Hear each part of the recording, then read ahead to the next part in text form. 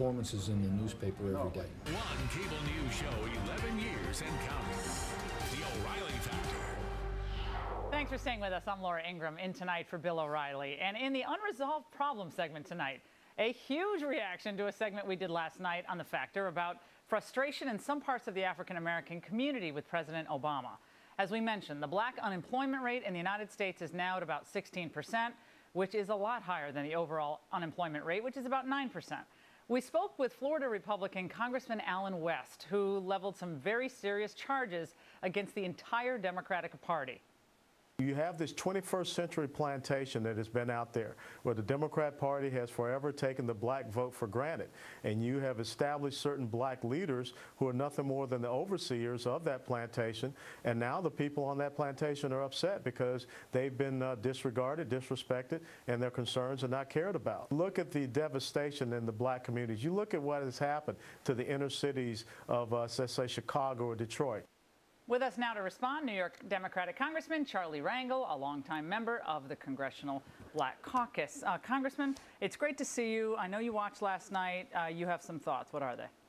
I'm really surprised that Congressman West uh, in, in going back to Harriet Tubman, who was a historic figure during slavery time. And, and I know he's new and he's a freshman, and the more TV you get before an election is very important. But he doesn't come from a political party that can ridicule plantations and that type of thing.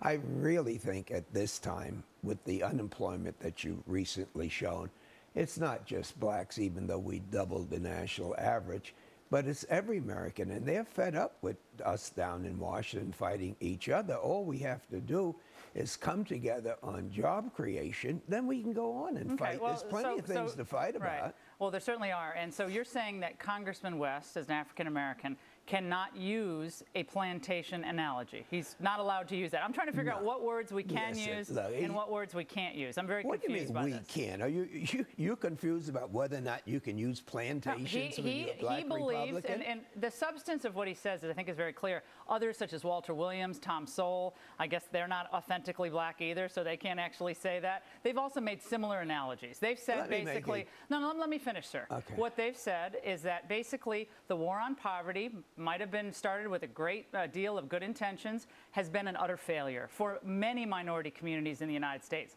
In the inner city and the school systems, we've seen increasing problems, both within the family, within unemployment, across the board problems. Has the war on poverty been a success in your mind? Now, this is something entirely different from No, what it's you all just asked. no, it's actually all tied you- together. You just you were talking about Harriet Tubman and plantations. It's a and, And criticism. ask, It's a substantive I don't criticism, care what he says. If you want to deal with the fact that Yeah. something worked, then you're 100% right. We can talk about unemployment. We can Has talk about wait. No, but Is, why do you think? is liberalism working for the black community right now? I swear, I wish I knew. You got a whole lot of different things. If you want to talk about the empowerment zone, which I passed, and we have them all over the United I- that that's has a simple worked. question. You won't ask, answer the question. No, no, liberalism and conserv- brought, brought about a number of larger government programs that promised empowerment to the inner city, poor people, minorities. Did it work? It's a, it's an objective question. Listen, Did it I, work? I, I, listen. You find this Republican wants to talk about plantations and No, I think he's making and now point. I know he is, and now you want to make the point about Lyndon Johnson, the war against poverty, it- and we are going through a period today of high unemployment. What has And why- liberalism done for you lately? What has I- what has President Obama done for the black community in two and a half years? I think that's a very serious question. I think it's an important question. But you Has haven't asked it. You've asked That's half the no. A half a dozen questions. You seem to want to quarrel with the wording of questions instead of get to the substance of the questions. And I'm really delighted you came on. I- Listen, I, I'm glad I, I think came terrific that you're too. So let's But- let's start over. Let's try to start over. Okay. Uh, now Colonel- forget all the Tubman plantation Colonel and Allen, all of Colonel that. Allen West was making a very provocative point indeed. A lot of people have used a lot of colorful language over the years on the left and the right. I think both have. Yes. Maxine Waters is, is clearly very frustrated right now with the president. She let loose on him yesterday saying, look, he's not coming into any black communities. She's coming at it from her perspective. Allen West is coming at it from his. I would ask you, has the president's economic plans Have they panned out for minority communities especially? Heck no, because the Republicans made up their mind as soon as he got elected. Okay. Oh, No, but, oh, Okay, go ahead. you know, uh, I thank you so much. You know, your questions really sound like little mini speeches. well, I know Congress. but maybe, having, you don't, maybe you don't get real questions from real people. I don't know. Well, I These know you're actually re- real questions. This is your show, Uh, but Congressman, what about had- real answers? You had a Democratic House, a filibuster-proof Senate, and the White House in Democratic hands. Okay, you had that for the first two years. Can't blame Republicans for those two years, or can you? we can say what the man inherited if you would permit, Those you know, me years, to say it. It was two years you guys were fully in charge, no Republican House. We had a deficit. Did it work out? We had a deficit. We had had two wars that we shouldn't Okay, have been in. Bush's fault. Let me say this: that Bill O'Reilly told me he had a secret weapon. I didn't know it was just a pretty girl that he would bring here. That's very think- condescending, sir. well, Very I'm just saying. A pretty girl. These are serious questions. There's an You have asked me going on. 50 questions, and I'm begging you. I'm begging Okay, let's- you. let's hear an answer. I'm. You're not answering any of the questions. I'm begging you to leave all the plantation stuff and this We out of it. beyond the leave out, leave out uh, Johnson and the poverty Yeah, program. because that's actually a serious question. And just ask me one question at a I've time. asked, I've asked four questions. The last question you had, there were two. That we work? had a Democratic president who inherited a, a heck of a deficit, Okay. And he inherited a couple of wars. Mm-hmm. And then after we lost the majority in the House, I think it's safe to say that the Republicans took the position that their primary objective was not to work with him, but to get rid of Obama. And so, even while we wait now, the president's on vacation, and we're waiting for this job program. We have a half a Should the dozen president be on bills. vacation?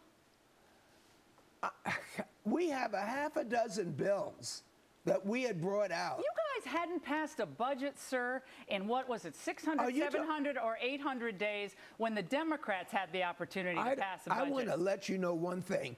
People in America who are unemployed aren't thinking about your budget. They're thinking no, no, about getting I'm not a in job. Congress, actually. You're in Congress.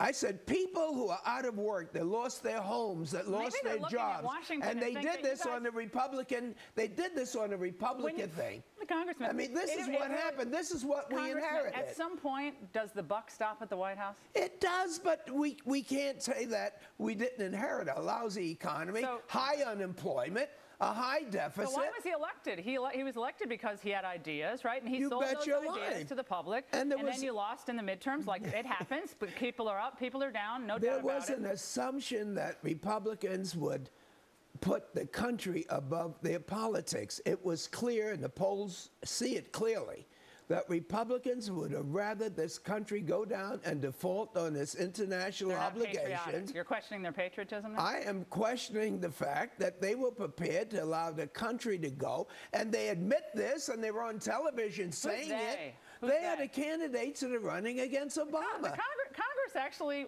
uh, Did in you the end, see- the did you debt see- ceiling was raised, and the president signed the bill, sir. Did you see any of the 10 candidates? They asked them Why are you talking if about you. the candidate? uh, you, you will not answer a simple question. Has Obama worked for the inner city?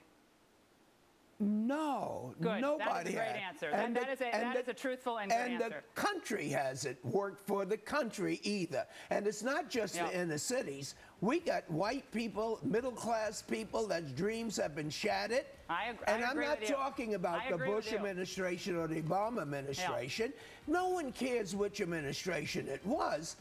America is made of Yeah. people who dream and have hope that they could Yeah. have a better life. Right, and That was snatched from them, Oh, the- and Obama has not restored that hope that was taken from them by right, George you, Bush. Oh, you mean I It's- have to I wish we had the whole hour. I, I wish we had do. I welcome. I, wish we welcome coming back. This, this and I'm have sorry I said that you were attractive. I withdraw That's that right. I completely. your, I wasn't. I was going to make a joke about the condo in the Dominican Republic, and I didn't make it out of due respect for you. So I appreciate your joining. he, should, he should have taken your condo instead of gone to Martha's Vineyard. In a moment, condo actually wasn't worth that for the much richest money. members of Congress. It was better than Martha's Vineyard. We're going to name names, even though they wish we wouldn't. What a fun segment. Next.